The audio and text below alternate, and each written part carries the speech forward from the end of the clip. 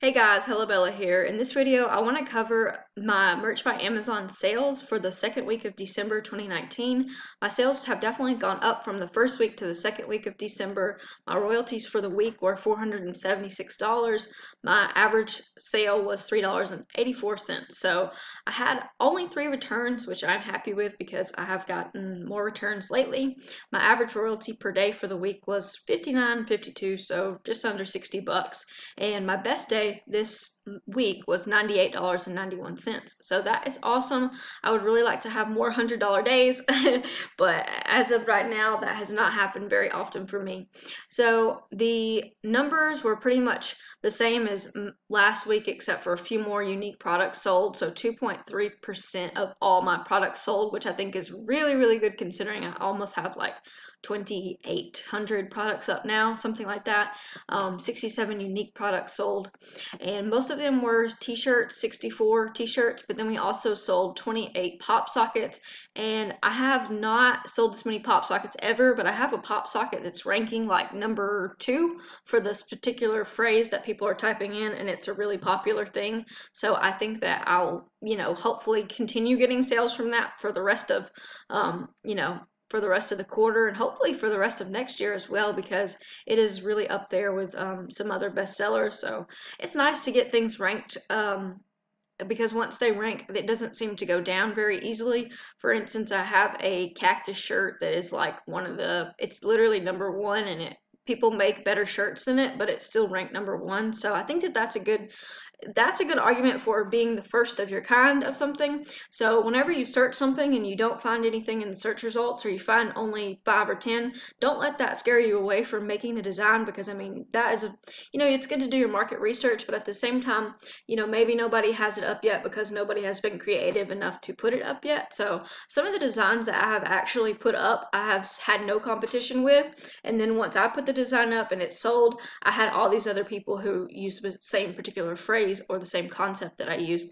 And I know this because some of this is stuff that I literally made up that I couldn't find anywhere else, and people would copy that. So, not hating on that or anything, but just saying that working with evergreen niches is something that I think is the one of the most sustainable business models because you don't have to worry about trends. The only bad thing about trends is that once Christmas is over, all of these Christmas sales are gone and they're not going to be, you know, I'm not going to be making Christmas shirt sales in January. So that's the thing about the holidays. If you base your account around holidays, you need to actually literally just print a, um, a list of all the holidays and just go through and make t-shirts for each and every holiday that way you can go ahead and get them up and make sure that you have a steady flow of designs coming up for each holiday. So the premium shirts only sold 17 of.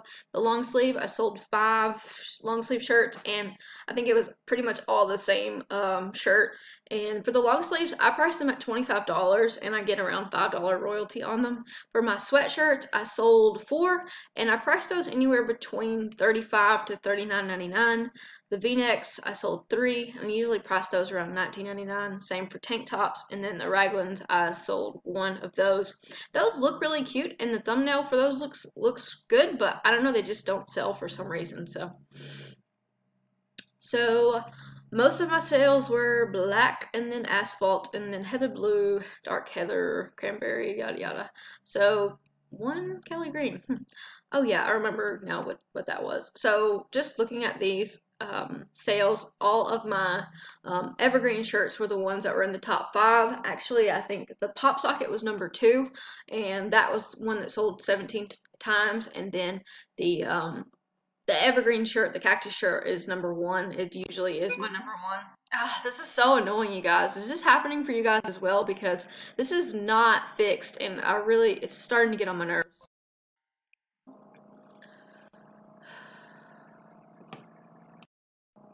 Sorry, guys, I had to sign back into Pretty Merch. So the basically the shirts that sell for me all year long are still continuing to sell, and some of my designs that I have started um, have started following trends on are starting to sell, so I'm happy about that. I have sold a couple of long sleeve shirts. Yeah, I make $5.25 on those, so that's pretty good.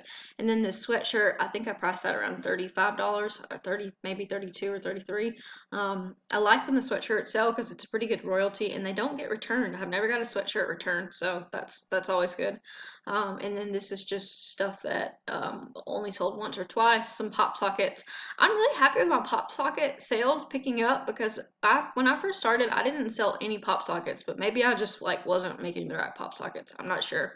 I think I uploaded around 100 pop sockets whenever it first started but the problem was that i was uploading things that did not have like any emotional pull and i think that that's the name of the game of this is making someone find a reason to buy something is like why would they buy this why what is this person seeing in this what are they identifying with what is pulling at their little heartstrings and making them want to make the um, one click buy purchase or whatever so in the future i just i'm more aware of that now and i think that that just comes with time. You figure out what stuff is going to sell and what stuff is not and things that just kind of are only going to sell once. But I, I, don't think it's a waste of time to upload something if you think it's only going to sell um, you know three or four times a year because at the end of the day that's still around 20 bucks if you can price it at um, 19.99 and i think that it's worth the time overall this platform has added quite a bit of income to my life in 20 um, 17, 2018, 2019, and I'm really thankful for it despite the fact that it's not as easy as it was and it's a lot more competitive. I'm still grateful for the opportunity because,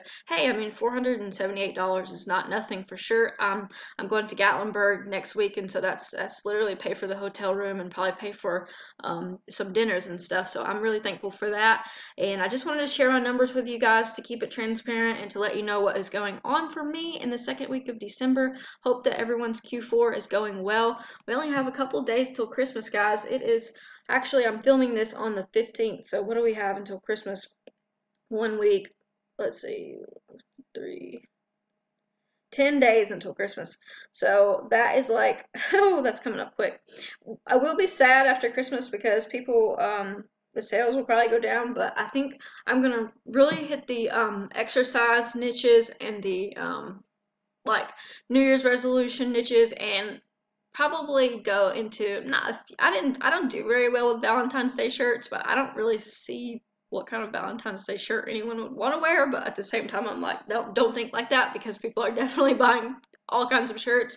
Um, and then we have St. Patrick's Day and you know so it, it never ends guys. Just just keep putting stuff out there and you'll you'll make sales eventually. And i think that the biggest thing is like make sure it's about what you know about. That way that you are not competing with the most trending or the top one 100000 or whatever. Just stick to what you know and i think the sales will come. So yeah that's all i have for you today. I hope that you guys enjoyed this video. Would really appreciate it if you'd give it a thumbs up if you got something out of it and subscribe to the channel if you haven't already. And i will catch you in the next video